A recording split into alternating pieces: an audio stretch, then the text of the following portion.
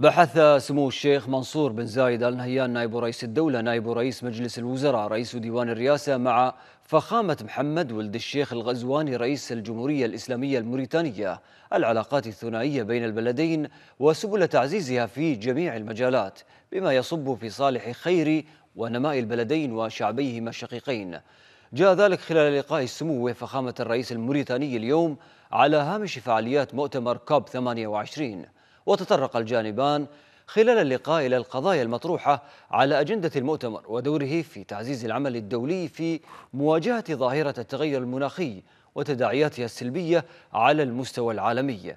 وأكد فخامة محمد ولد الشيخ الغزواني متانة العلاقات الثنائية التي تجمع بلاده ودولة الإمارات على الأصعدة كافة بما فيها قضايا العمل المناخي معربا عن تقديره للجهود المتميزة التي تقوم بها دولة الإمارات العربية المتحدة في مواجهة ظاهرة التغير المناخي وتحدياتها على الصعيدين الوطني والعالمي.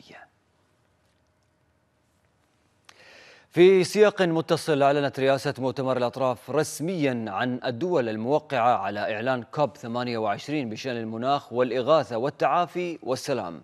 في إطار تركيزها على تسريع الجهود العالمية لدعم الدول والمجتمعات الأكثر عرضة للصراعات وتداعيات التغير المناخي وتعزيز مرونتها المناخية.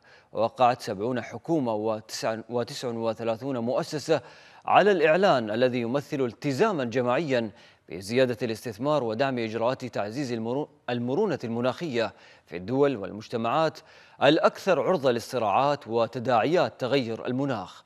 كما تم إطلاق ميثاق إدارة الكوارث الذي يحدد مبادئ التعاون في العمل المناخي لإدارة المخاطر المرتبطة بالتغيرات المناخية وحماية الفئات الأكثر عرضة لتداعيات تغير المناخ. ويأتي كل من الإعلان والميثاق في إطار سلسلة مبادرات كوب 28 التي تهدف إلى تسريع جهود تعزيز المرونة المناخية العالمية. وخصصت رئاسة المؤتمر الثالث من ديسمبر كيوم للصحة ضمن جهودها في توجيه اهتمام العالم نحو أهمية حماية المجتمعات من تداعيات تغير المناخ. كما تعهد شركاء المؤتمر بما يفوق مليار دولار للتمويل الخاص بالتصدي للمشكلات الصحية الناتجة عن تغير المناخ.